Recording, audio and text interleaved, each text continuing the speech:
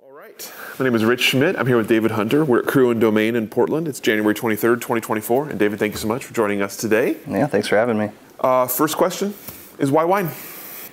Oof, starting off with the hardest one. No, I mean, I don't know. You know, really, uh, I think uh, when it comes to wine is such a puzzle. Wine is such a, uh, you know, and everyone waxes prose about it in their own different way. But like, man, what product ties you to the ancestry of humankind to spiritualism to nature to science to economics to history. I mean you know what i mean? You can go on and on. So i think uh, yeah i wasn't born with you know a grand cru uh, wine in my nose or you know fetching bottles from my dad's cellar or anything like that to say the least. Uh, so you know i definitely would have never uh, anticipated it I was a music major, music business major at SF State, and so like my joke right now is, you know, I got a bachelor's degree in the music industry and going for a master's master sommelier title for wine. So it goes to show. So tell us a bit about life before wine. Tell us about where you're born and raised and kind of path to college. Yeah, um, definitely unconventional. I was uh, born in England actually, and uh, my mom kind of said hell with that and, and raised me in California uh, since I was like two or three. Uh, and then bounced around a lot of different towns in California till, you know, I was in the Yosemite area kind of for high school. Went off to, uh, and I worked in fine dining, you know, kind of from 16 years old, just like bussing tables, getting some serving shifts. Um, and that led me through working through college, through Chico State and where I finished at San Francisco State. But once I made it to the Bay Area, uh, that's kind of when all the pieces started falling in place uh, for what came for wine. Uh, started working at this fine dining old school old school spot in San Jose like you know Joe DiMaggio used to eat there had his corner booth and it was like you know there were ghosts. It was mob money. It was like the whole nine yards of 1940s San Jose. Uh, but they had a wicked wine cellar, and the gentleman who uh, owned the uh, sadly the restaurant's not open anymore. But uh, Jalil Samavarkian is his name, Iranian hard-nosed dude, but crispest suits and just walked it and talked it. And he was the first person to start putting glasses under my nose and being like, "Tell me what you smell, Mr. Hunter. Tell me what you know." And I, was good with fruit. I was like, "Hey, raspberries, cherries, strawberries." He's like, "What else, Mr. Hunter? What else, Mr. Hunter?" And I mean, just like off off in space, not knowing what the heck to ask. And that was kind of the first little planted seed. It wasn't like a love at first sight. Oh my gosh, I, am seeing stars now. You know, it was it was uh, that was the first seed, and then uh, I moved to San Francisco, uh, where I finished uh, my degree I mentioned there, and it was there I started working at the first spot that, you know, kind of unlocked everything. Mm-hmm. Yeah. So at that point, let's, pause there for a second. At that point, what were your kind of thoughts on wine? Did you was, you mentioned not love at first sight? Were you excited about it at all, or was it just a means to an end? yeah, I, it's funny because my grandma. I lived with my grandma at the time, and we're still, you know, in, incredibly close. Uh, I just drank her buttery Chardonnay when I was out of beer. That was like literally it. We were, you know, we're religious SF Giants fans and we'd watch every single game. You know, this was the 2012, 2013, 2014 season, so a lot to be excited about as a SF Giants fan. And we we didn't miss a single inning. And yeah, we were just polishing off her and classic stereotypical buttery, oaky, rich. She doesn't. She's never had a sushi roll in her life, and you know that's her style. That's that generational taste palate. Uh, uh, but so that was really my intro with it. When I was, uh, I my dad actually lives in Australia, and when I was 21, I went out there, uh, uh kind of met him, and you know, he's like, "Oh, well, what do you like to drink? Like, what about wine? You know, Australia's got some good wine." And I was like, all I said, I was like, well, I, I, can, I enjoy white wine. Like, or, you know, like, I mean, I don't know how many cheap Sauvignon Blanc, whatever the case, that we drink out there. And now knowing that I was 40 minutes of a drive to wine regions that I study now religiously and memorize all the producers and bottlings. I was like, I was there and I was drinking grocery store plonk. Like, you know, the, but then again, I wasn't into wine back then. So, you know, all those little components were there. Uh, but then I started I worked at this tiny little Italian trattoria.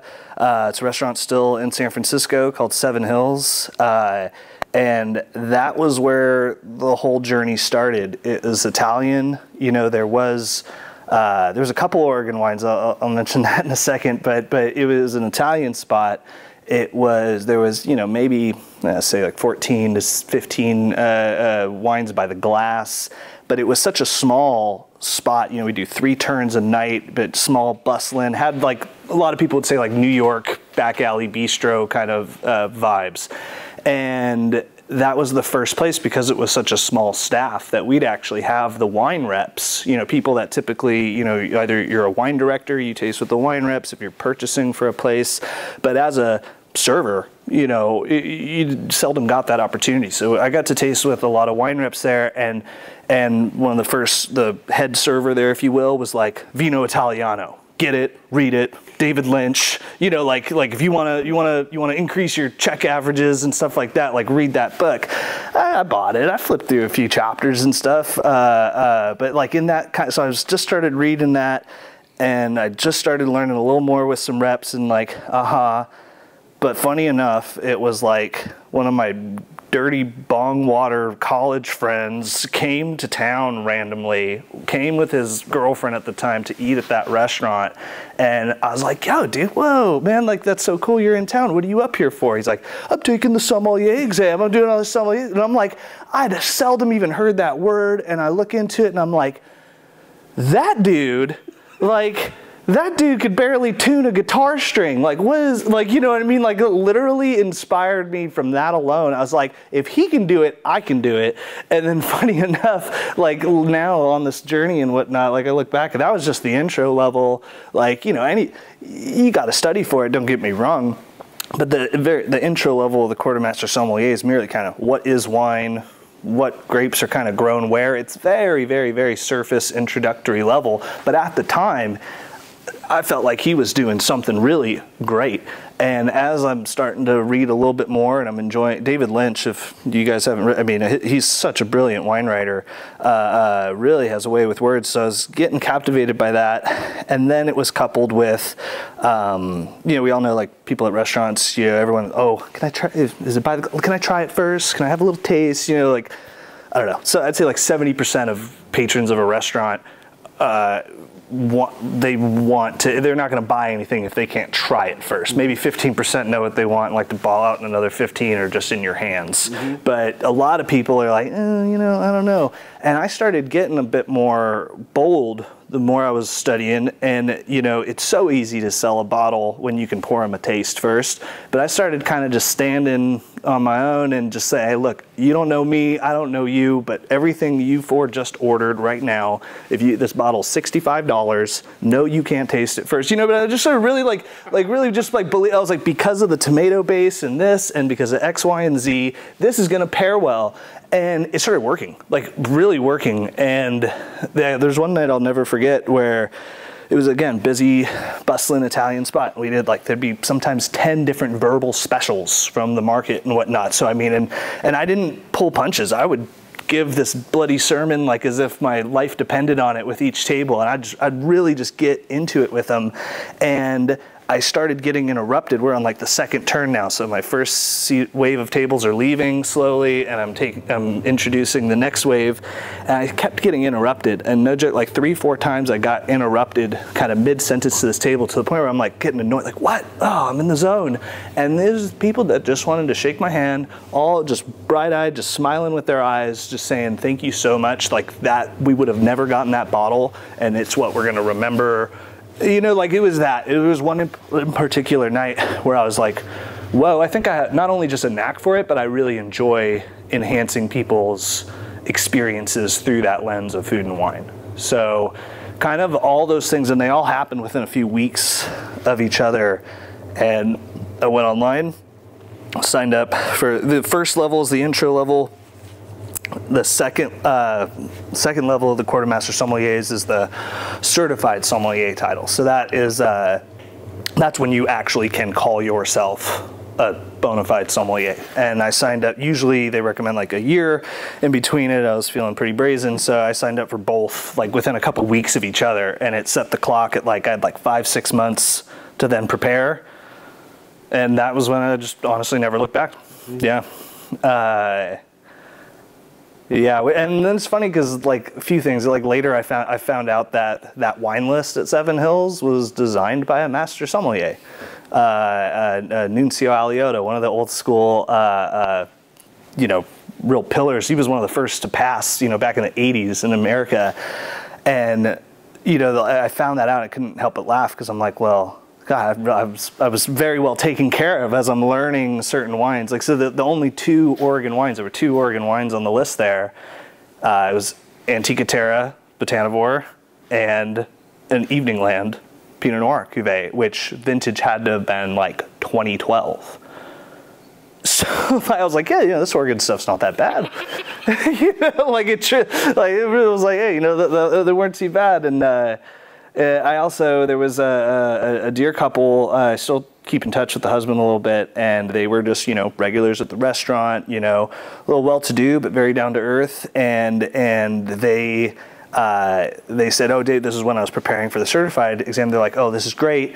Uh, we want you to take care of us. We're bringing our favorite winemaker, our favorite winery in Oregon, down to San Francisco, and we're hosting them for a big vertical library uh, uh dinner." And that was uh, Patricia Green Cellars, and so they had to have been pretty endeared uh, members to actually get now knowing how winemakers are and behave like to get the winemaker out of there and like travel down to SF for this. Uh, but it was at the time, you know, it was like I want to say like 05 to 09, and and I'm and and this was a small Italian spot. We seldom had tables over four. This was a party of eight. I was like, oh, great, I get to really do like a big wine service and and and all the glasses and and and of course, you know, they're encouraging me to try uh, each and every one. So I can confidently say confidently say that was my first real like little expose of like, hey, look at what Oregon can be and how it can taste like.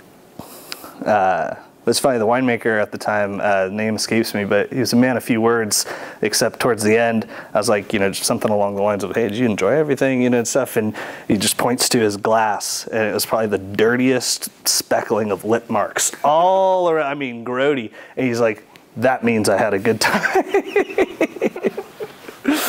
so I gotta, gotta love that. But uh, yeah, that was true. I signed up for both portions of it, and I don't know if it's that kind of horse blinder component, but I, I, I just never looked back. I, like from the get go, you know, I, I, I get becoming a master sommelier became like when I learned like that was the final evolution, that was the final goal yeah, that's where I really set my eyes on it.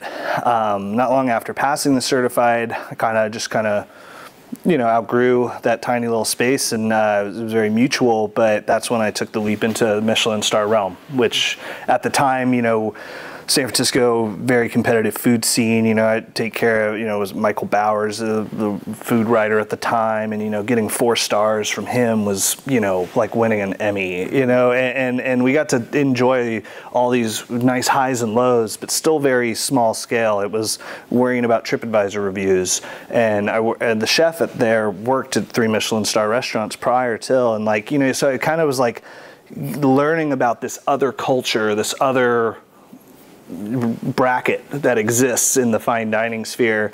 But as I was studying for certified, I think it occurred at one point or another.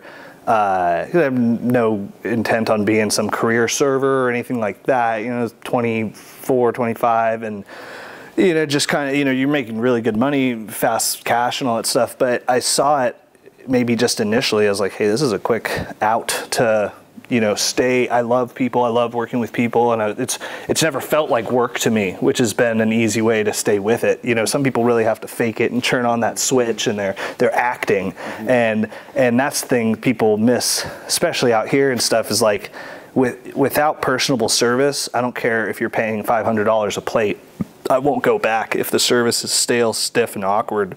And and, and you know so that that, that kind of fusion uh, was was always there, but but yeah, I took the leap into the Michelin star realm, uh, and the guy who hired me, uh, which at the time, I mean, was one of like the hottest somms in the city. You know, he's on the. We're literally doing inventory, and there's magazines with him on the cover of like Wine Journal and stuff. Yeah, like like literally, like this guy is like just blew the door open a few years prior, and and he was in the the the ropes of passing the MS exam or going through the MS exam, which is now where I'm at right now. And so just even in that kind of short six seven years, it's kind of crazy to see, you know, forwards and backwards. But uh, yeah, that was at Michael Mina was where I started uh, over on California. It used to be Aqua, my uh, real namestay spot. Probably one of the swankiest dining rooms still uh, on the West Coast, at least. But that was where you know I started like as a cellar rat. You know, I, I applied for the sommelier role. He's like, "Look, man, I got to get you in as a server, and I'll get you, I'll phase you in, but it get you in the door." And and yeah, my first job was taking care of the cases and cases of corked wine to send them back to reps and things like that, or you know, it, like we're doing inventory, and I'd make the comment of like, "My goodness, like it's like the 18th different distributor. Like how many different distributors?" He's like, "Dude, you want a wine list that looks like this? You have to like." It was really like things that now are just commonplace, and you know, when you start when you're in any industry long enough, you know, it's easy to like, oh man, like there's such a learning curve. There's uh, I'll never forget. Uh, well, so I mean, one thing that was really cool about Michael Mina was five of the people I worked with, four are now master sommeliers, and four were all they were all at the advanced level, and they were all you know like there was a little dregs of Chateau Yquem dessert wine, and I'm just like, I've never, oh man, you know, I've only been reading about this. And, you know, they're looking, crossing their arms, looking at me like, ah, don't you remember your first son? They're like, oh, don't you, you know, like, poor little baby and stuff. And, and, and that's just how it, that's just how it goes. But, uh, yeah, no, there, uh, there's uh, more than a few moments I can look back on during those times. And uh, just from that, from a growth standpoint, you know you it can be such a violent inhalation when you're trying to learn about the world of wine but there's so much context to it there's so much there, there's so much to build upon and you, you hear phrases like rote memorization where it's hey man you might cram it quick but it's not going to last and and that context and stuff so yeah i was you know in, uh, couldn't have been more fortunate to embark on the sommelier journey in San Francisco because, I mean, the community there, although very competitive, was still incredibly generous and welcoming. Um, one of my uh, closest friends, Mark Guillaudeu, uh, just passed his master sommelier exam this uh, last year, mm-hmm. and I mean he he led a tasting group that uh, you know this is where we met through. And i mean you only get like a day off in michelin. When you're when you're a wine director or whatever in a michelin restaurant you're lucky if you get one day off a week. And he would spend that day hosting blind tastings for you know 30 some odd people and doing like this like unwavering just generosity uh, and this giving. It was it, it was not hard to get swept away with the community at large. And you know someone's bringing like a 1966 Barolo or something, or you know, some crazy wine pops up, and then you're like, oh, there's that history, and there's that these other components to it. So, so yeah, that was that was a little, um, and you know, from there, you know, went to two other different Michelin spots. So like all in all, it was like seven years uh, working in Michelin restaurants, and I wouldn't be here right now talking to you if it wasn't for COVID. Well, you know, but I guess where where, where Oregon uh, kind of in, in, interplays with this uh, was uh, 2017. Uh, so I, I had uh, been a certified sommelier at that time, and uh, my now wife, girlfriend at the time, she surprised me with a trip, and we went up to Oregon for my birthday for like five days. Um, and she's like, "Hey, I kept the plans open so we can." I want you to be able to like organize what you want to do. And I was like, okay. We were in Willamette three days of the five. You know, the other two were the travel days, uh, and those are real fond memories. You know what I mean? We just hit up as many as we can make it to. Um, and then consequently the advanced sommelier exam, which is the third level, and that's the level right before master's.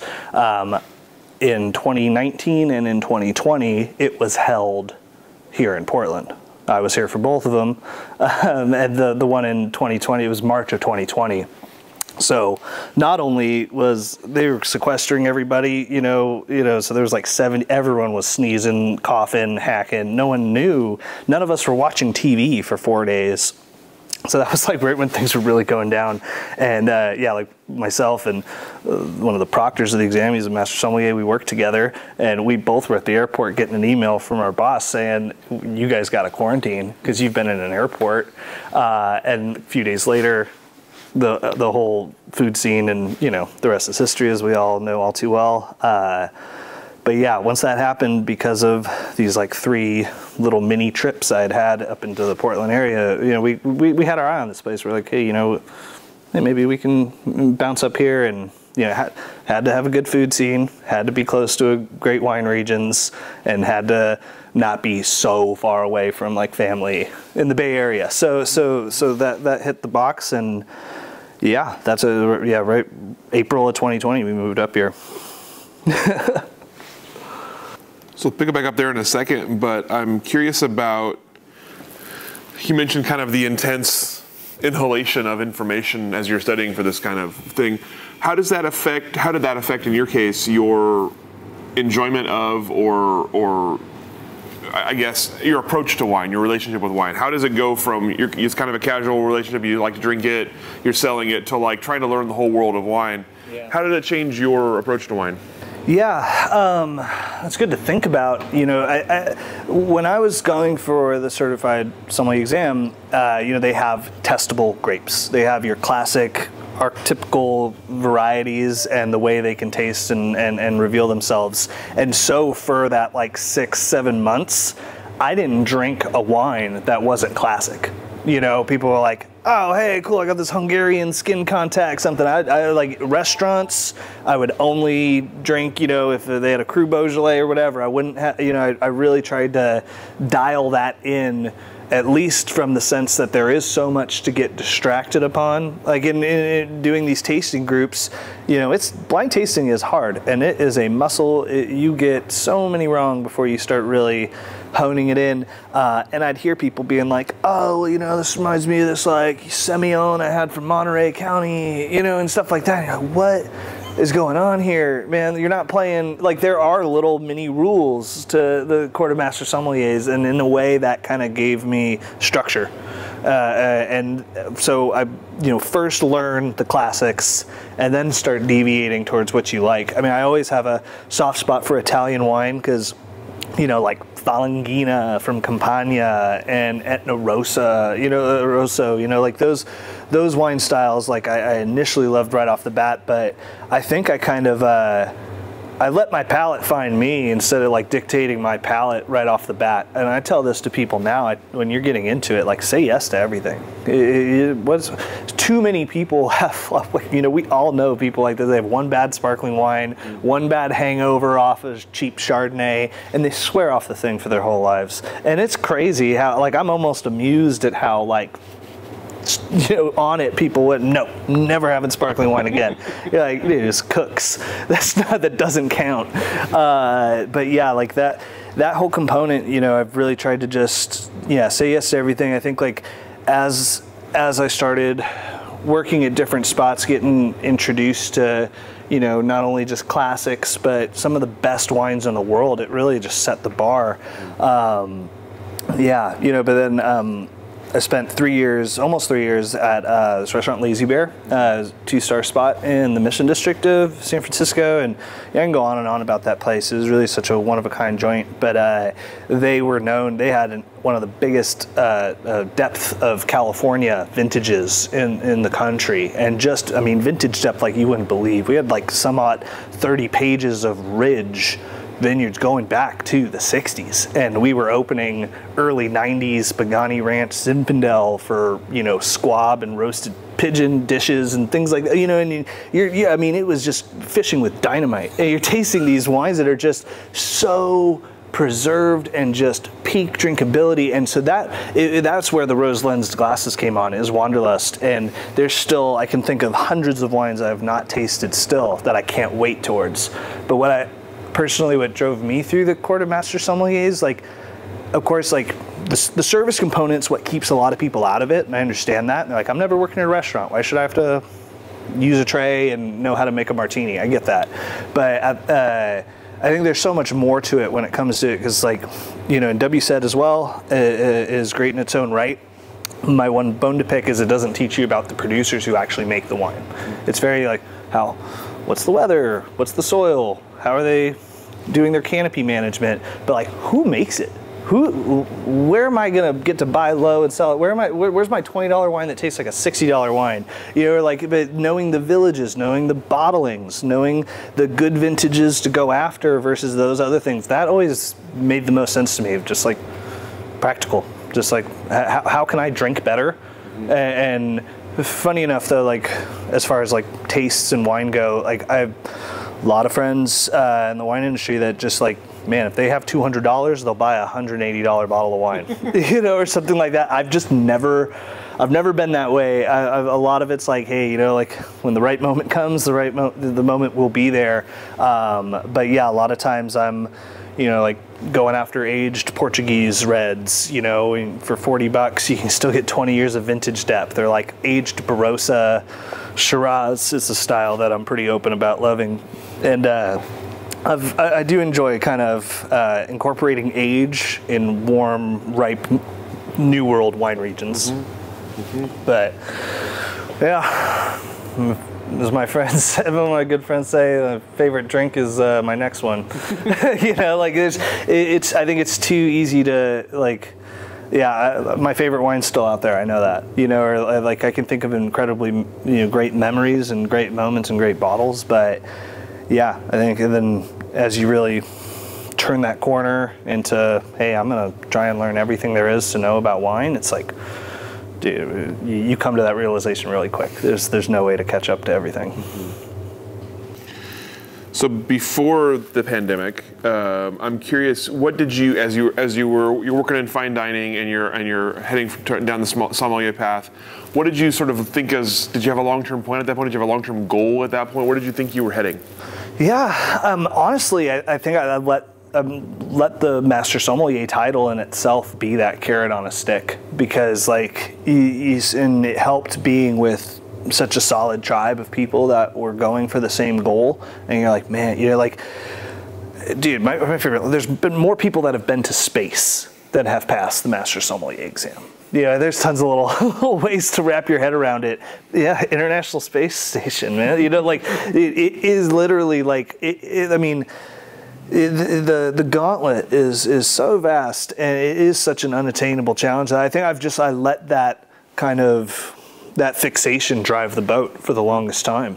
Uh, and then, funny enough, though, it's like I'm sitting to you, sitting to you talking right now in a wine shop that I run and curate and all this stuff. I would have never ever told, I would have told you you were crazy, you know, a couple years ago with that. I, this was never part of the plan, but therein lies the journey. Mm-hmm. You know, cause, uh, and I think now that, you know, I'm, I'm kind of finally about to punch my ticket and, and, you know, like get into the arena and have a fighting chance. You know, now I, I find myself thinking about like, okay, well, now it, it's somewhat I can see the mountaintop now. Like, what am I going to do when I get up there? Mm-hmm. And that that in lies the question because you know it's not you know just like just like you know imagine a doctor or lawyer so you don't just like get your doctorate and then there's your practice all set up and waiting for you you know and as a master sommelier they say like oh you know opportunity or that phone starts ringing from my from what I've gathered, you know, a lot of people that's not the case.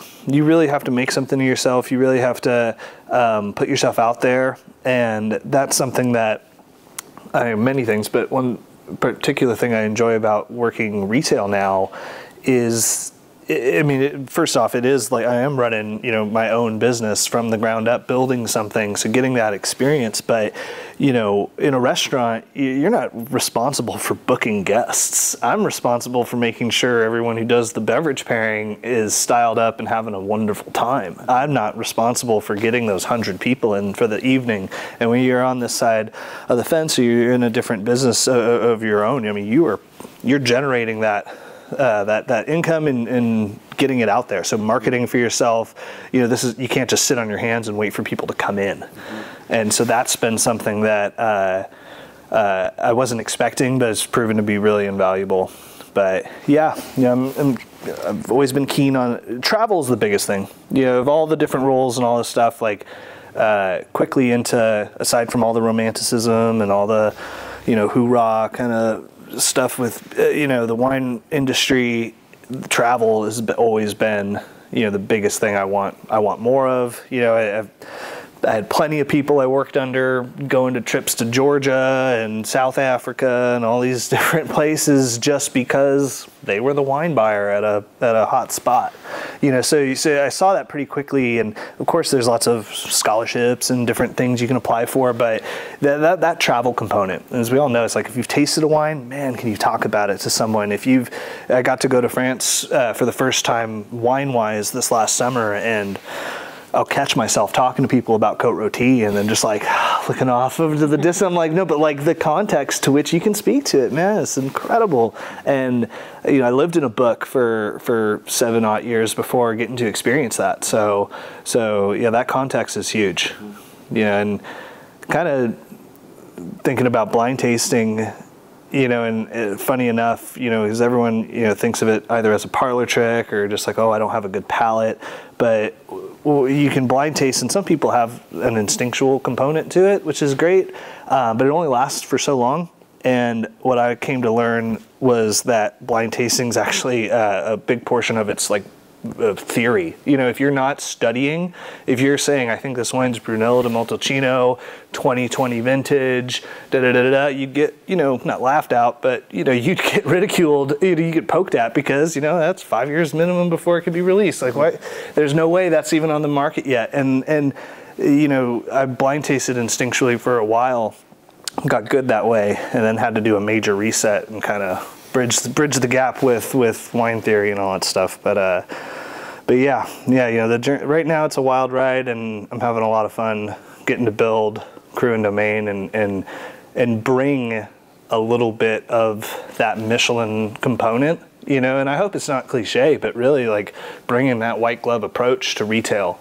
And it didn't take me long to realize, yeah, I mean, dude, this town's great, amazing food, all this stuff, but I'm not alone in thinking that like service and all that stuff is like kind of severely lacking or it's almost like they're all in on a joke together and we're just left out of it. It's like they think we're making that coffee right now you know like who knows whatever. But like you know having that that that real hospitable approach like you know in the way i design the shop like i want it i want that that feeling when you walk in like wow, this is really taken care of. You know, in a fine dining restaurant, it's it's you know, if one fork's out of place, you know, it's not going to derail the whole show. But when you've got 400 things all in their right place, it's a feeling. You know, when you walk in, you just it's it's a it's like your your mind's at peace. I had a chef who was obsessed with the 90 degree rule, and he's a you know everything's orderly in 90 degree ratios and that's how if anything was off he'd he'd either he'd just silently aggressively move it or just you know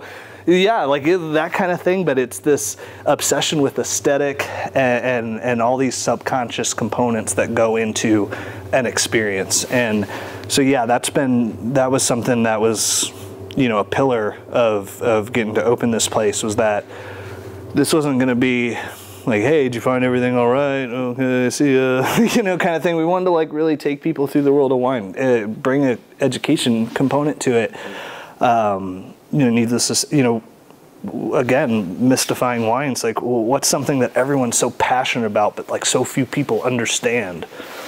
Football i don't know you know like like even still like you know there's there's so much stuff that that that goes into it and I, the longer you work in an industry you do like you get numb to the the struggle of what it was like to start and and i've heard people saying like boy it's a beautiful shop, but I just feel intimidated. Mm-hmm. And and there were, uh, the first t- a couple times I heard that, I was like really blindsided. I'm like, whoa, how could someone feel that way? Oh, hold on, like, oh, I must not be doing a good enough job to make them not feel that way. But you know, there's a there's a lot of uh, you know people put things on a pedestal, or, or you know people again like I've I've seen guests taste a wine or like a wine maybe is like slightly flawed, and they taste it like oh well I'm gonna stick with this bottle because it must be my palate. I must not my palate must not be this must surely be good and i must not be sophisticated enough to enjoy it You're like you couldn't be more wrong you know like you, you, everyone's palate is their own and that's also what makes things so crazy um, whether it's your first glass or you've been drinking wine your whole life but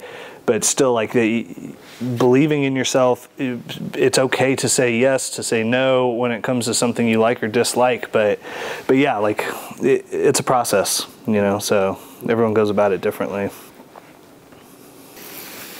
so, you got up here in April 2020, and obviously the restaurant scene was not a place to be at that point. So how did you get from that to opening this shop? Yeah, um, and it was funny. So yeah, move, moving up here, my whole mo was oh i'm gonna work harvest and at that point i'd done like six years straight of seven years straight of just you know dude needless to say the fine dining routine it's a it's a it's it'll burn your wick at both ends you know not getting off until 1 a.m some of this tasting group theory group at like 9 9 a.m the next morning and you know back to work at 2.30 p.m and it and it was that rinse wash and repeat for years.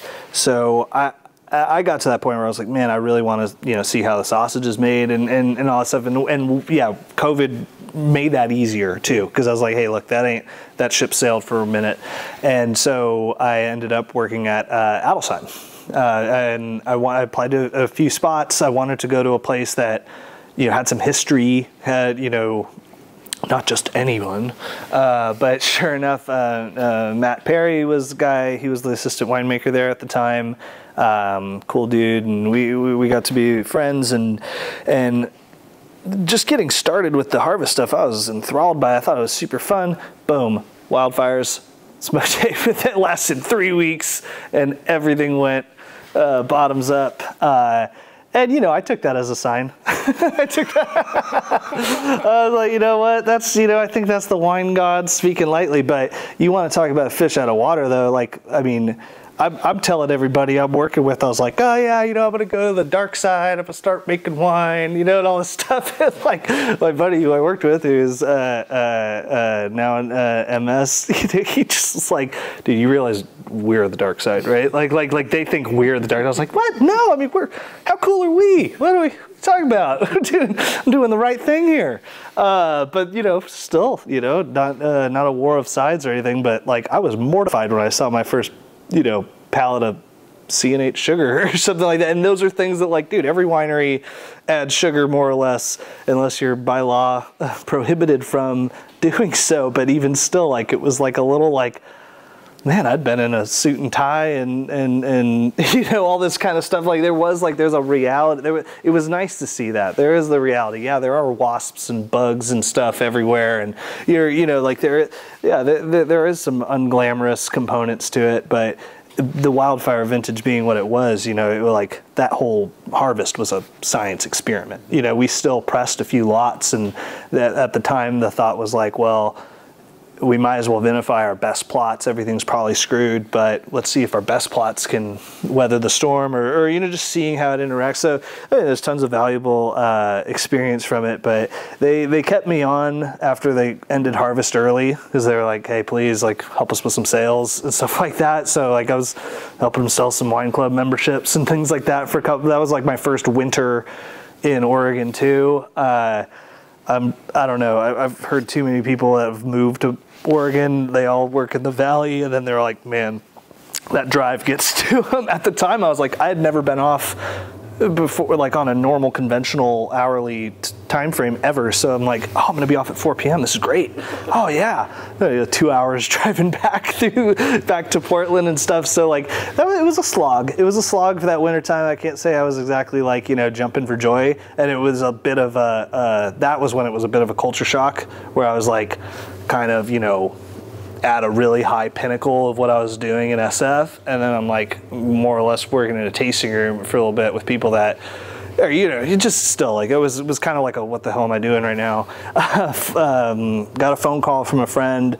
There was a, a changing of the guard at a restaurant in Lake Oswego, and they needed. He's like, "You just not perfect, but you know, you'd be able to control your own wine program, and, and they need somebody to kind of polish it up and everything. And uh, and so I, did, I was there for about six, seven months. Um, um, yeah, doing the doing the wine program and everything, and and and did that, and serendipitously just met the guy who owns this place, uh, William Oben, uh, who, you know, funny enough, like even in our first interview, I was like, got a feeling like I'm gonna look back in life and be like before meeting you and after meeting you. Kind of, it was like every once in a while, you know, we talked, you know, about people that are connectors and people that that, that have that magnification. And uh, I don't know, I'm gonna butcher it, but one phrase I've been really liking recently was uh, "Only a fool needs a second opinion on a diamond."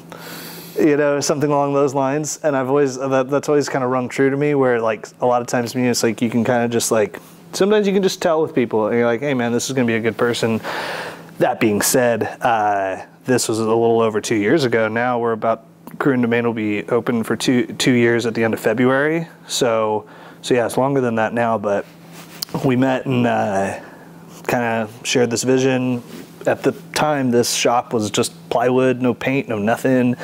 And we kind of just toured it and, and kind of sharing that vision of what could be built and you know, I value the time I spent as a wine buyer places and working with programs that I did because, yeah, I mean, there, it's it's not always a, it's very seldom a blank check. I'm not saying that's it is here, just in general. Like you know, there, there's places I've worked for where you know you're nickel and dimed to try and bring on a new wine to do to to execute a certain vision, and when you work for someone who believes in the value of of investing in wine. You know, that's how Lazy Bear was. Like they believed in the value of investing in wine. When COVID occurred, they were able to stay afloat because we turned the whole wine cellar into a retail store. Dropped the margins a little bit. We started bottling our fermented hot sauce, and the two Michelin star chefs were making the best breakfast burritos you ever had in your life. But like, there was a line around the block, and that's how they stayed open during COVID. Um, you know, but but getting to you know. Uh, ownership here, you know, is like we believe in, in, in the value of wine and the investment of wine. Uh, and you know, one phrase I've thrown around a few times is like, you know, there's people I work in the wine industry, you know, like a, a partic- uh, you know, I'm in it, but like that guy's really in it. Like he's on a texting basis with people I got to study on flashcards. And so like again, it didn't take long. I was like, wait, you're friends with who? Okay, you're wait, you're friends with that guy? Okay, like you know, I don't know. There's just it was a nice connection, and and funny enough, that was a year and a half into moving or living up here, and it occurred to me, I was like, dude, I've been up here an hour and a half. I hadn't even worked in Portland at all. So even just from like finding that friend group, finding finding that you know wine scene and stuff like that. You know, we've got the great people over at Willamette Valley Wine Storage over here, uh, and you know the the you know that's a nice little nest of some really great wine collectors and just people passionate about wine. So you know, in these last two years, moreover, like that's where I've made like the bulk of my friends up here, and so, so it's it's it's been great. It's it's it's it's been able to provide me a way to get more immersed in the Oregon wine scene, um, and even still like to get to build what we're building here. And I mean, because like, dude, we we do blind tastings every week. We teach the public how to blind taste. We do very specific themed flights every week where it's like, I know that people are drinking New Zealand. And, you know, if I wanted just people to flood this place, I'd do champagne in Sicily every other week because that's everyone only cares about Italian wine and champagne in this market. But, like, I know that New Zealand isn't the hottest draw. I know that, like, you know, boutique whole cluster Chilean projects and stuff haven't caught people's attention, but that's where we get to stand on that confidence. Where it's like we've put in the legwork, we are really passionate about what we're doing, but we have the education and the the clout and the know-how to back it up. And that's I just think like without context, uh, context is key. That's the that's that's the biggest thing.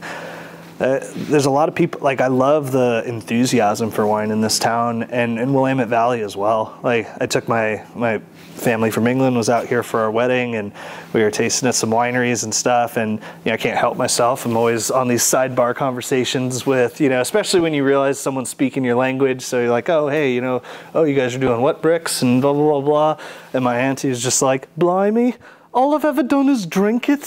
you know, like you know, just like you know, not just like what a what a bow on that. You know, because you don't even. Re- there's so many people down here that are like into the nerdy details and stuff. It's great. Mm-hmm. It's great, but yeah, context is key, and and you know, a lot of people can talk about Oregon wine, but uh, there's such a there's such a world out there, and you naturally like especially with aged Oregon, we have one of the largest collections of, of aged Oregon wine in, in town and we open them up too which is like we did an event called Oregon doesn't age question mark. And I mean longtime wine people in this town are just like dude no one's done this before. And I was like again naively shocked how. Like wh- if we've got it, hey, we charge like fifty dollars a ticket. We got these sixteen wines back to the '80s, and let's taste them. Let's, like that's such a pivotal. You, you're going to get people more interested if they can taste and see what's going on with it. So like we'll do rotating Coravin pours uh, where we'll take you know like I've got a 1998 Russian River Valley Pinot Noir open stupendous. So many people are like, oh, I, I, thought Pinot Noir couldn't age for more than three, five years. You know, I mean, that's still rampant. So those anytime anytime as a sommelier you can kind of shatter some preconceived notions. That's a win. So tell me about building the collection here. Obviously you mentioned like you have the education component you have you have a desire to, to so tell me about choosing wines for this place and about sort of building a wine list, whether it's at a restaurant, whether it's at a shop.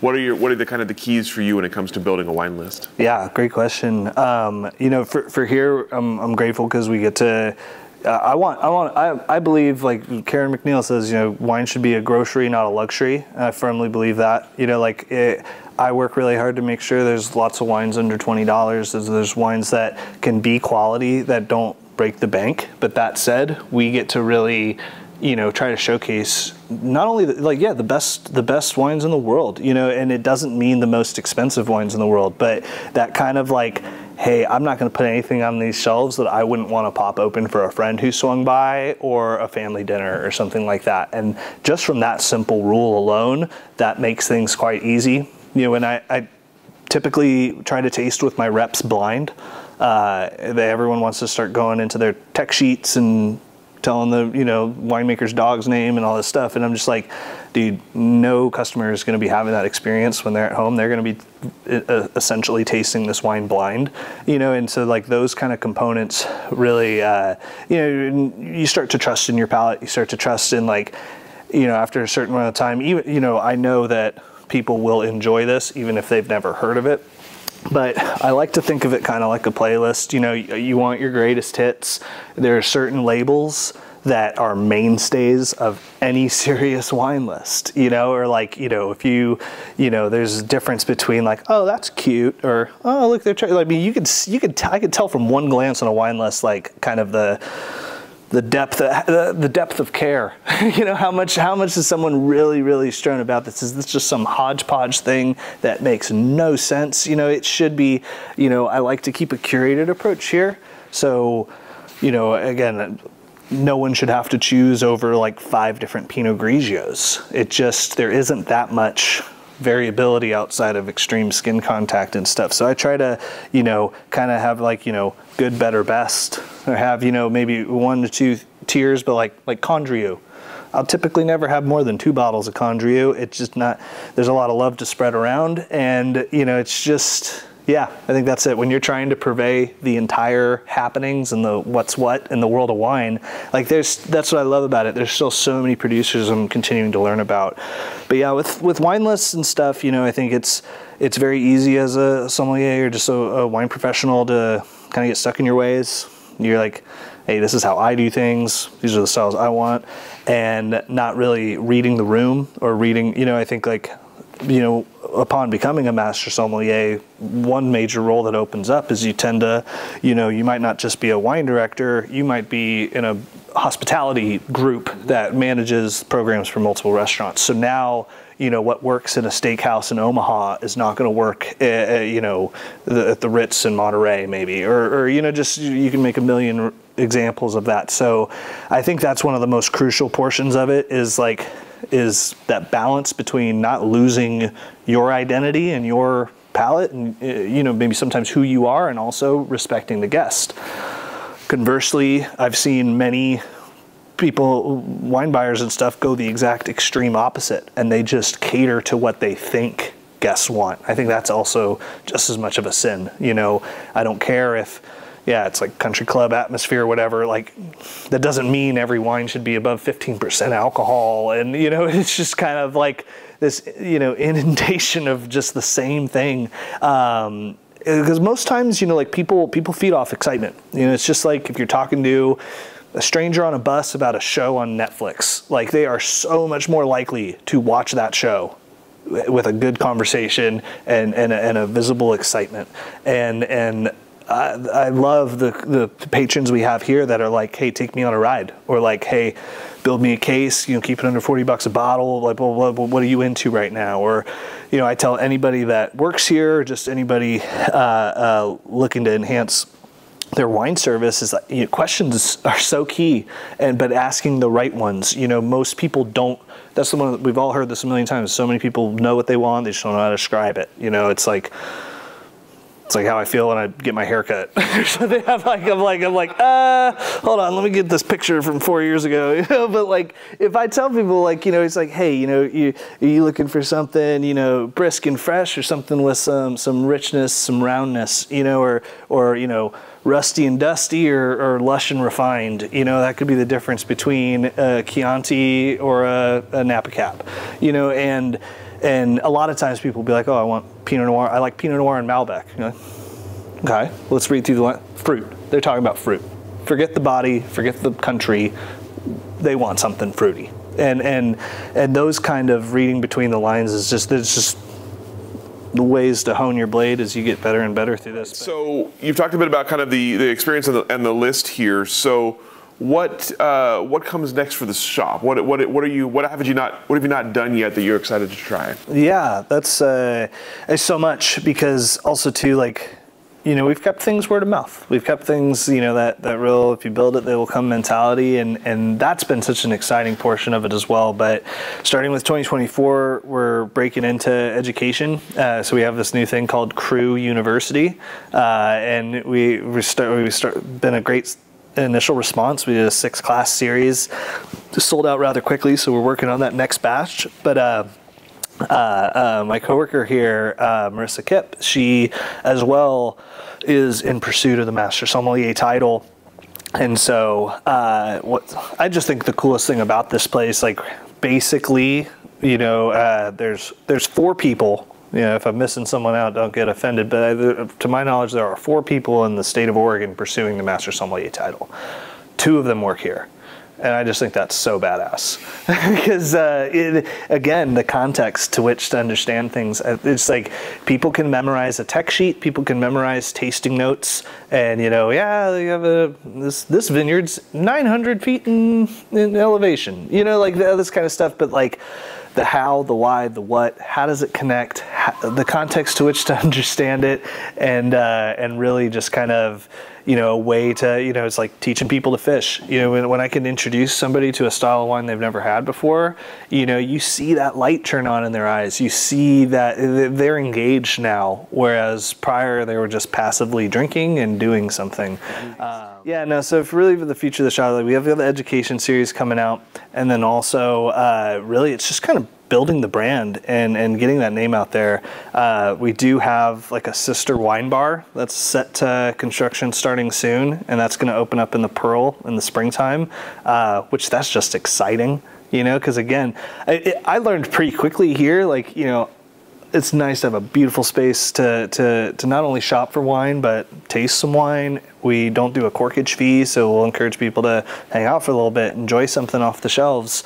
Uh, but it didn't take me long to realize people like drinking wine more than like necessarily shopping and stuff. So, you know, I've found that like creating experiences I think is going to be one of the major components for 2024. We uh, did a really fun, uh, this was for charity. We did this really nice wine uh, dinner that people bid on, and we brought out just the murderer's row of collectible wines. And getting to do events like that were such a smashing success. I think that's something uh, I look forward to doing. Uh, yeah, we do a monthly like ticketed event, and yeah, anything I've learned this crowd, man, if it can be a date night, it's off. It's off to the races, man. Uh, but you know, just like a Wednesday afternoon, it's like, hey, check out this grower champagne and stuff. Like, I mean, again, we, you know, the foot traffic's uh, uh, pretty decent out here, but it's still, you know, we're tucked in our little corner, and and I mean, we didn't do much of any marketing for, you know, really the, just a little bit on Instagram, a little bit on that, but. We've we've kept it in that grassroots kind of growth phase, and we finished the year really strong uh, with a lot of buzz. And again, we're just I'm just hope to capitalize on that. I think it's just you know, every single person that walks in here, I want them feeling like a VIP. I want that, you know, uh, anytime I go into a place, someone's remembered my name. You know, it's like someone said, like, you know, everyone loves the sound of their own name. Uh, but you know, like the, again, those little touches of hospitality, those little touches of, you know, making memories for people as opposed to just a transactional, you know, relation. So. I'm excited for what we've built upon and the regulars that we've been able to foster. And uh, it's also at times, you know, just like, man, I know that like at least half this town doesn't know what we're doing or, or who we are, or what we're doing. So like, it really, we're looking forward to, you know, we're we're here to stay. We got big ambitions and and just en- enjoying that ride. But I mean, boy, after, after this call, after this interview, I've got 200 bottles to bag and tag and get working in it. So it's like, what, what's exciting is that the train never stops, mm-hmm. and that's I mean at time it can be a little annoying when maybe you're in, you're on vacation and you're like on the phone for shipping things and stuff like that. Like you know, the job follows you, um, and you know when you have an online store that's 24/7, you know most anybody could buy from. Uh, yeah, but it's it's it's one of those things that. It, I think, and it ties into the sommelier realm. It's like this insatiable thirst. It's this kind of you know hyperactive mind. It's uh, staying busy, spinning lots of plates. I mean, and again, you can see why people have success working in restaurants that translate to this. You, you, it, it's not for everybody, and and that's okay. But it for those that like are kind of wired that way. Uh, I get a lot of gratification out of it, and it's also like I could not imagine doing kind of the same one, two, three, or you know, and again, but to, to another person, that's paradise, you know, and, and it all just depends. Like, you know, most people that work in, especially in Michelin, you know, restaurants stuff, or just really any restaurant, man, you you you kind of thrive on the chaos a little bit, you know, like. I love it when it's just me on the floor here sometimes, like, you know, where I can like actually get my tail kicked a little bit or like you know there, there'd be so many nights leaving you know the floor and you're like man i am exhausted I didn't need to do those extra three flights of stairs to just get, you know, a little thing to add a little gag of a joke to you know like I mean, this this this one time this one time in Michael Mina this guest was like I was getting right into all the spiel you know getting all getting getting into the spiel and they're like oh man if this is how you this is how you, you talk about wine I wonder how they, they, they talk about cereal in the morning or something like that. I was talking about it. This guy he's like dude he went and grabbed a little thing of milk and a little, we had these like little grains that were a portion of the dessert and we did a little like cereal you know as a total gag but just like they were not expecting it. They're like it's at the end of the night, their bill is already paid. And they're like, oh, and for, for your final surprise course, we've got this one, you know. But like, you know, creating that little memorable experience, getting to have a little fun with it. But uh, yeah, again, you know, it's I think like. Uh, to I've been trying to have this place be a bit of a lightning rod for the community that I've left because up here, you know, and I was warned, frankly, by people in SF. They're like, dude, don't go to Portland. It's a dead zone no one does. And I mean, from a fine dining standpoint, I understand why they said that. You know, no, no one's hiring a full-time sommelier, you know, to work in a restaurant outside of Canlis uh, uh, up here. But that being said, like I'm really glad I didn't listen to them because you know all the elements are here. Mm-hmm. They just you know the the passion, the the curiosity, the the local love, you know, and and sure, you know I'm all for Oregon wine. Like moving up here was been such a nice revelation into like just you know I thought I knew my 15 producers. I think it was 600 somewhat producers out there. You know. It, it, it, there's there's there's light and dark sides to it. You know, I, I learned that I was in a snow globe in, in in SF a bit from the Oregon standpoint. All I was working with was the best you know, again, like the Evening Land, the, the Antica Terra stuff, I, you know, that was my entry level Pinot Noir. So, you know, tasting some like verticals of some stuff. I'm like, oh yeah, 09? Oh, 09 should be tasting like this. It should be at this stage. It's going to be great. And you're tasting something, you're like, and I was like, whoa, this wine's busted. And you know, maybe they're Adams Matt. Uh, you know, who, you know, who knows what was going on. Eh, you know, with the one, but like, eh, that was a, a, a the eye-opening moment was realizing that whoa, like not every wine ages like the best. And then okay, well now what's my next step? Like yeah, one best thing I ever someone told me, so I hope someone gets value from it here is like when when when on the fence of whether to age a certain wine or not, like always pursue owner slash winemakers for New World wines for America, you know, Chile, whatever. When you have an owner slash winemaker, like that's a certain investment. They're they want their grandkids tasting those wines, and as opposed to um, I'm the hired person, you know, like don't don't don't upset the the club members or the investors. You know, it's a different it's a different approach. So that was something that that was eye opening for me there. But moreover, you know, between a lot of the vintage Oregon wines we've been able to purvey here and just tasting and, you know, whether it's like the Deep Roots Coalition, things like that, like always always love attending that and the and and getting to see all the people involved with that. But you know, like there's too many producers to name drop, but there's so many exciting things. Amphora wines. I mean, Chardonnay, no secret, right? Like the fact that Oregon's finally figured out Chardonnay is probably you know, this is what's going to take Willamette Valley to that next echelon. Uh, uh, and, and, you know, this is, you know, off camera, but we're talking the, the, the kind of the new wave of winemakers right now. And you see this, and it's the same in France, the same as other things, you know, except in France, they're born into the family, but they send them off to New Zealand, they send them off to Argentina, they send them off to all these places, get those experience, get that exposure, and then come back here and figure out how to do it right. And, and you're seeing, you know, you're seeing people uh, out there doing these things. Uh, and yeah, you know, the fact that, you know, I'm, sure everyone knows that, that whole Wente clone fiasco, you know, and people probably lost their retirement funds just planting stuff blindly. Uh, and it really set the region back, you know, like Pinot Gris should have never been as big of a crepe as, it, as it's been for here. You know, it was literally just like, here's something 17 bucks to cushion the blow for these, whatever the price Pinot Noirs. But yeah, Chardonnay is so exciting right now. And, and, you know, you're seeing people having success with Syrah and a little bit with Gruner Veltliner, things like that. I, this is where like I get in my own way sometimes where like a lot of people like, oh, this wine's great. But I'm like, if it's Gruner Veltliner, I'm holding it to the standard of Wachau, of Kamptal, of like the, the, the atyp- the typical style of that grape. So there are times where you know maybe I'm not the biggest fanboy because I'm just like, well, it's a neutral white wine, and it you know sure, but it's not as expressive as you know. It's you know sometimes you're like, well, there's a reason Tempranillo is like you know mainstays out there. You know, temp- a lot of times international grapes, you know, sometimes they lose that spirit, that essence, that soul of their European counterparts. That's what makes it so exciting when you taste someone's wine that is dead on. Yeah, like I uh, Raj Parr's Phelan Farm Wines out of California. Yeah, he's making Mencia. The first time I tried it, I mean, I didn't know what the wine was. Like, I, I was like, dude, this is Spain, 100. You know what I mean? Like, that was like an eye opening thing because it fooled me big time. But a lot of times, you know, like Italian grapes grown in Oregon or even California, seldom are they really like dead ringers, but you got you know Cameron doing the Nebbiolo uh, uh, based out of you know Barbaresco vineyards and stuff, and, and you're seeing these steps and you're seeing this promise and excitement. So yeah, I mean it's a fun ride, and I think like with anybody.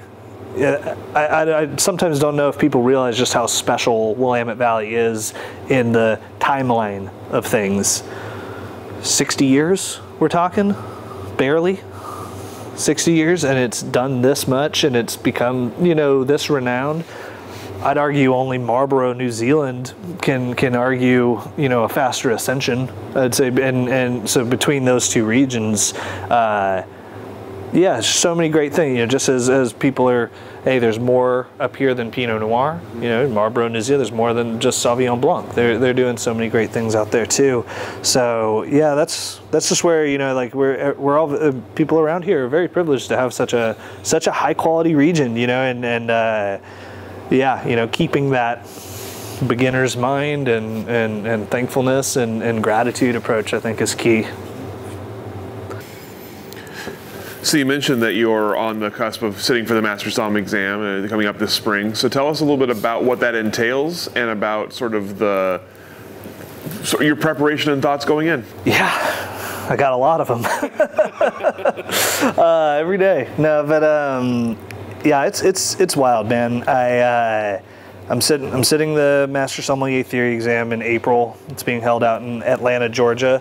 The irony is that it was held in Portland the last couple years. Uh, but I've never been to Atlanta, so let's have some fun with it. But yeah, man, it, it, it is crazy because when you start on the wine journey, it's like it's so into like we talked about the intimidation factor, this kind of it's just like the Mount Everest approach. Where you're like, man, how on earth am I going to get there? And you know, we're not all Zen Buddhists at heart. We're like you know, series one step at a time. You know. Uh, but by keeping the blinders up, like I'm, I myself am having that kind of moment of like, whoa, like we're like the finish line's in sight. We're, we're like kind of right here because all these memories that kind of touched on a few is like of the people that I've worked with that were at this point trying to achieve it.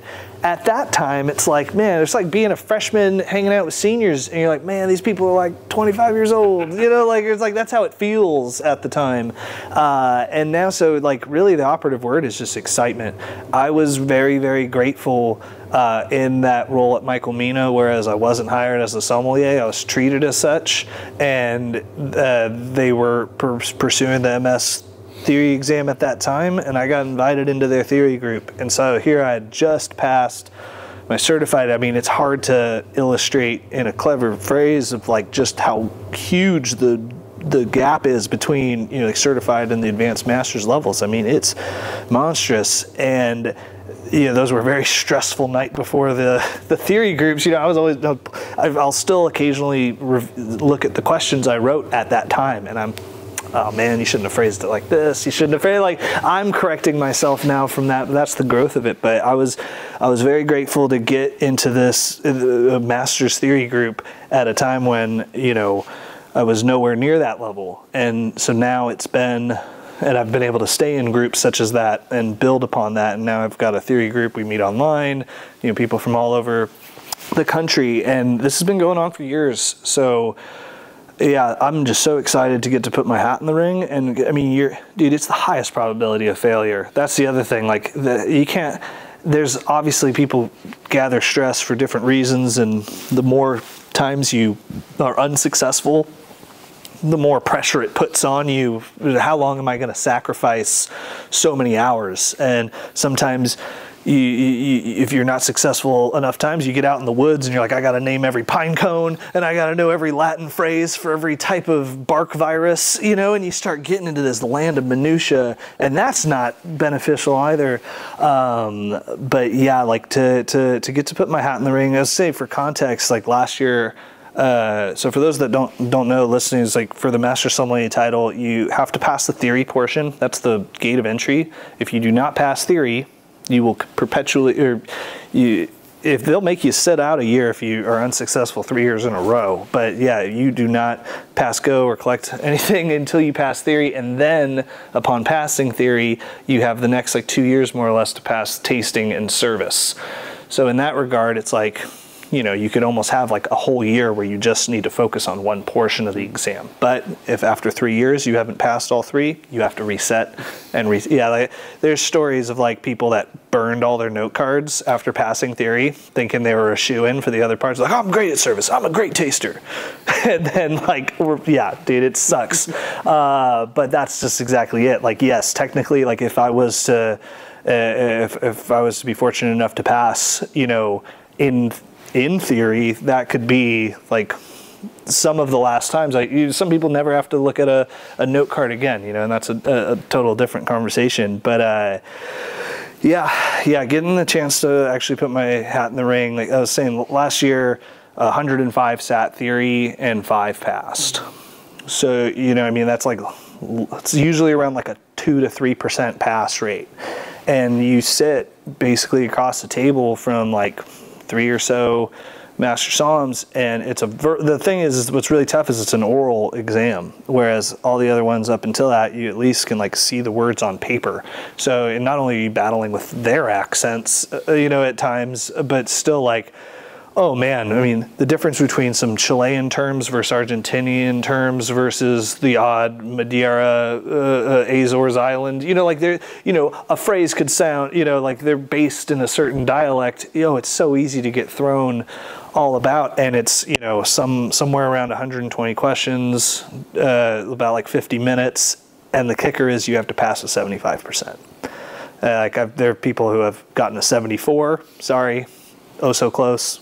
See you next year. You know, um, so very very brutal to say the least, and it can come down to like one or two questions. So like even when you think you're, you know, oh man, I know I got these five wrong, or like I mean like it's the mental like right now in these next two and a half months, I'm trying to you know, it's, it's mental stamina you know, it's it's it's the mental stamina portion of it. It's it's the you know not losing focus you know that's something too like your brain starts to go soft after like 70 questions or you know you start like looking at the time or maybe a balloon flies out the window and you know or like you know your eyes start wandering off. So like that's for me trying to really really hone in and uh, and just take it in stride. But yeah i think uh, there's a lot of reasons why people can add pressure to themselves for, i think going into an exam that has such a high probability of failure how that should de-stress you right there. Like I'm like like this. I'm you were you were actually going into a, a, losing situation, and it is like you know it's like I, I, I should view this more as like playing the wine lotto, but like in these types of exams, many have said before it's not. Yes, you, you, of course you can prepare for it, but the exams tend to not be something you can prepare for. Have you been to Tunisia? Have you had Reiki from you know uh, you know like what's the base flavoring spirit uh, uh, uh, agent of this and and you know. Uh, what season is this mold procured for sake production? You know, like I mean, the questions at times can get. There's always going to be some fu questions we call them, where they're like, you know, there's always a few in there, uh, absolutely. Um, but yeah, the kind of, without putting words in the court's mouth, they've always known they've kind of they kind of keep uh, they're they're changing their ways. They're being much more open and and uh, about like the examination process as a whole, like giving really great feedback and, and breakdowns of categories. And this is where you need to work on. This is where you did great. Uh, but a lot of the mantra, maybe unspoken, has been like, hey, we're to kind of keep you in the dark a little bit so you can run really, really far. Maybe you ran past where you needed to go, but you're better for it because you did it. And that was like when I was first sitting the advanced sommelier exam, which that was like a whole behemoth in itself. I, I, just passed it in July, which is exciting. It took me, it was my third attempt to pass it. And for advanced, you, whereas the master sommelier exam, you get three years total to pass all portions. The advanced, you have three days in which you take all three and then you find out pass or fail. And yeah, first year I went two for three. I passed theory, I passed tasting, I didn't pass service. The second year, I passed service, but I didn't have my best flight. And so tasting held me back the second year. Like even in, although at that point I had now passed every portion, uh, and then you know COVID happened and whatnot, and uh, you know it's not easy to get back on the horse, and you know especially you know, failing at anything, it's not easy to get back into it. But uh, uh, yeah, definitely got the monkey off my back in, in July. I was able to pass that, and uh, for me, it was weird that like most people get the advanced level and they're like, I'm good. Like, I, and they're right. You know, you can get any job. You can, you know, hotel, whatever the case. Like, you can you can make a full blown career at yourself within the advanced title. Uh, that was never the end goal, and it became sadly like I was not even that of course excited about it, but like my, my mind was already on the master. I was like, I just want to get this out of the way so I can get to where I've been, you know, like people that I studied with that have now been there, you know, it's like we're all on the same race, just at different speeds. And, and, and so, yeah, you know, I can't just from that community component, I can't wait to go see a bunch of people I have, you know, haven't seen in four or five years or people that will now be sitting across the table uh, you know, proctoring my exams and telling me my, you know, my questions. You know, it's like, man, you know, uh, I'm excited for that, that kind of full circle approach to it. But yeah, man, it's anything anyone in the world would want to drink and pertinent information about it. Really, that's like the best, easiest kind of way to put it around. I mean, it's and it's it's you know what you know uh, uh, the Monashee Mountains affect which wine region primarily? Blah blah blah blah, blah you know the Elbe River you know in Sachsen Germany. It, it, it's it's you know rivers soils the types of wines allowed. Who makes this wine? Arrange these three vintages in Muscadet from best to worst. Uh, which of the last which vintages of the last 10 years had hail in Burgundy? You know I mean that's just from a weather component uh, you know, who was this person in the influential winery they helped with? You know, I mean, like that. There really is no uh, um, end to where it could go. But as I prepare for this kind of Herculean task, uh, I just try like my, my wife said like a long time ago, just like just really try to remember what you're doing this for and and why you're doing this for and and again, you know, there's people that hey, you know, I really like this. It's tasty. Yum. Having a good time. And then there's those people that are like, I want to know why. Or kind of like if you ever like been in a car and you're like, man, that movie, that actor, God, what was that actor's name? And if it bugs you enough, like where you're like, I have to look this up or I'm not going to be all right for a minute. Like if you're that type, you probably have a, uh, a potential to be a sommelier or you, you probably have a career in wine if you want because it is that little tick. It's that little like, you know, I really, really want to know. And and yeah, like I was definitely a precocious child, and I was, I was definitely, you know, at, at times, you know, like a, a little know-it-all, you know, at times I've been accused.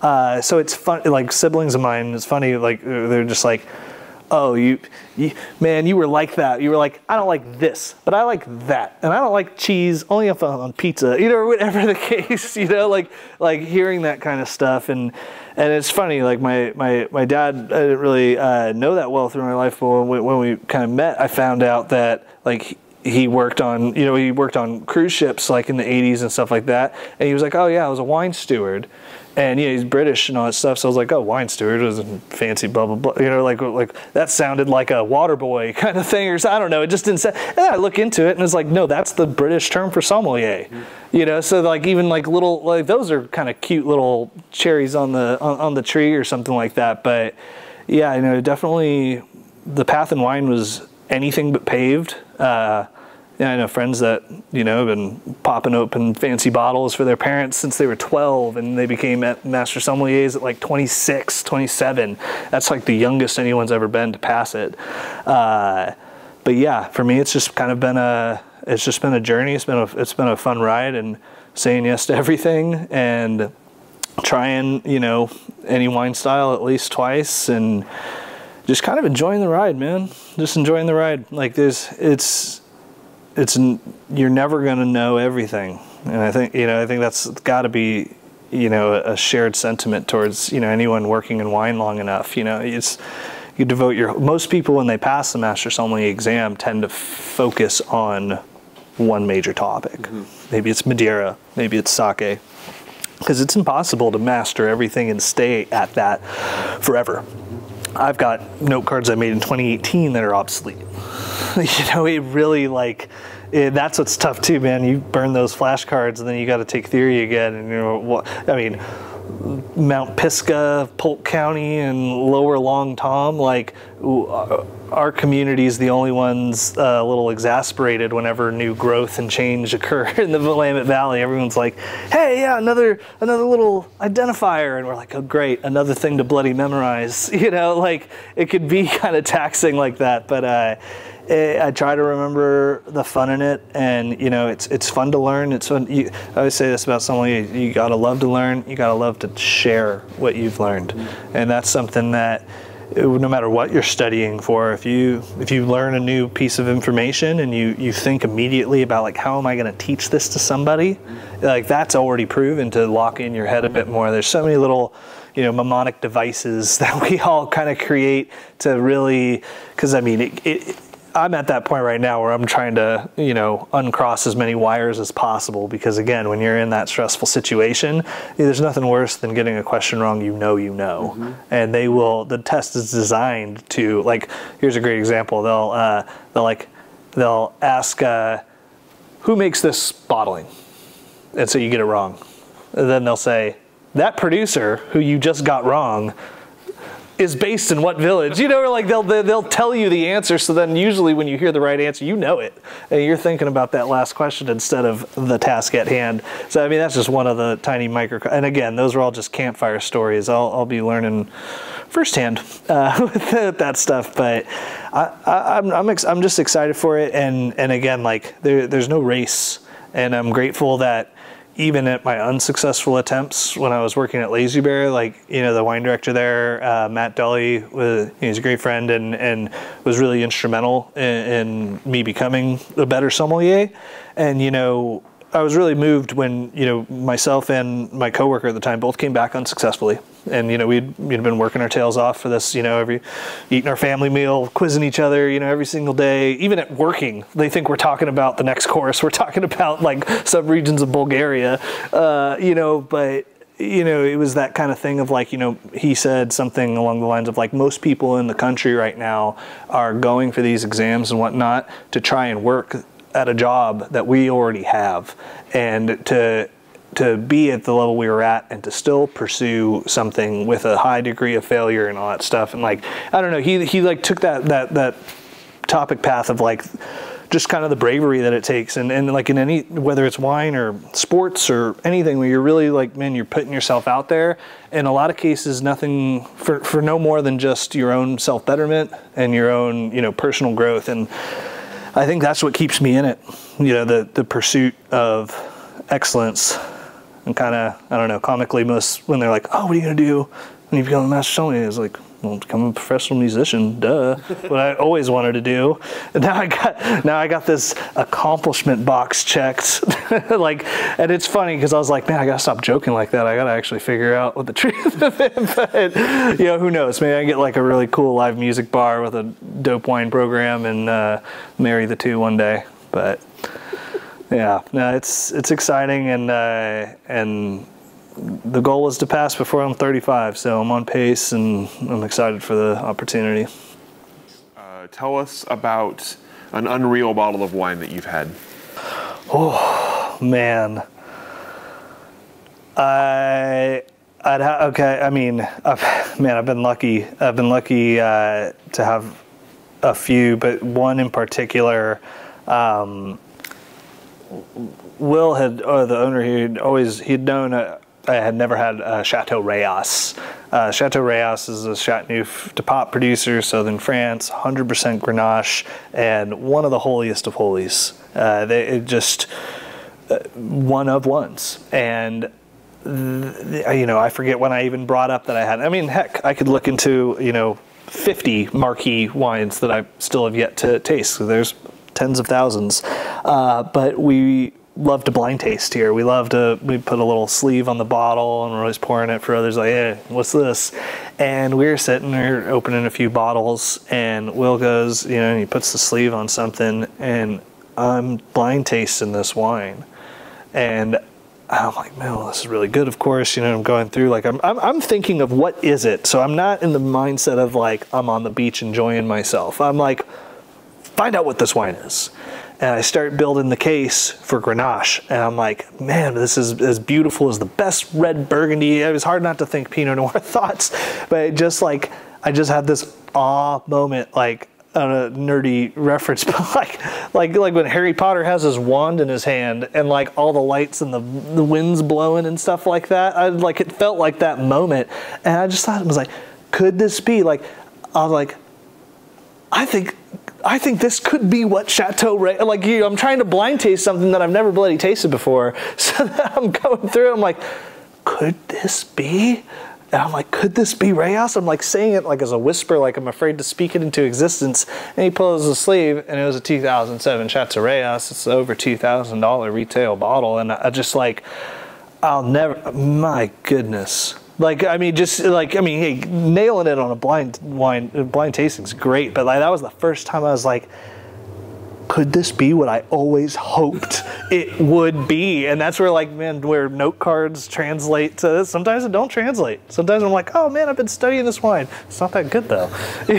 like it's a little hairy for my taste. Uh, you know, eh, well, you know, the kid took over, and no, but like the, the, the wine was just uh, immaculate, and and yeah. Uh, like I said, I still try to think of the, you know my best wines are still to come, but that's something I'll never forget. And you know that's again where like the owner of this place, he's a firm believer. It's like you know people, we're in a generational gap right now where you know there's going to be need to be a new generation that t- gets into this stuff. Uh, and getting to open those wines and pour them for people that don't have the means or the accessibility. I mean, that's something that we've too uh, become kind of known for. And man, I've I've seen I've seen people wipe tears away from wines that we've been able to pour here, and like that that means something. That like that's a, that's a spe- I don't care who you are. You know, you're like man, like that's cool. That's cool. Like when you get when, when when things can get put on a pedestal, but like when you can create that sensation and that experience. So, yeah, that 07 Chateau Rayas that will uh, stay with me for some time. Well, excellent. That's all the questions that I have for you. Uh, anything I didn't ask today that I should have? Anything that we didn't cover that you'd like to cover here? No, I think. Um, well, you know, I mean, hopefully, we're talking about Oregon wine a little bit and stuff. Like, you know, the fu- the future's really bright, and I'm excited. I'm, I think it's great what you guys are doing right here and capturing that history, and everybody's coming at it from a different angle. And I think, you know, you're providing a lot of puzzle pieces that people look back on and and really be able to say, like, hey, man, that's that's. I don't know what other regions are doing this, you know, and stuff like that. So, kudos to you guys, and um, and excited to see what you guys continue to do. Thank you very much. Appreciate that. And best of luck this April at the the beginning of the end stage here for you. Thank so. you all. If, if, if, I pass, we're having a party here, and you all are invited. So so keep keep that on note. Excellent, we'll do. Thanks, thanks for having so, me. Thanks so much for your time. Appreciate it. Go ahead and let you off the hook. Awesome. Thank you guys.